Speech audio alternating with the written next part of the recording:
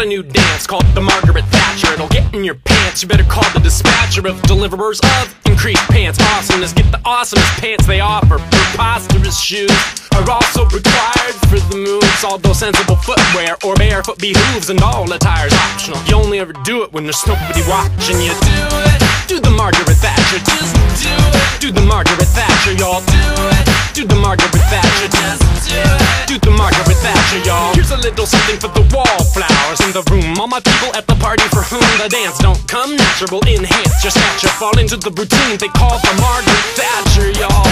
Margaret Thatcher.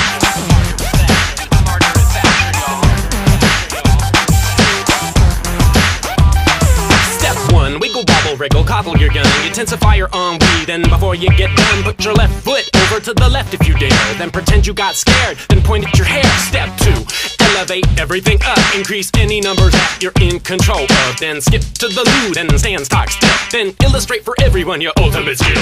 Uh, uh,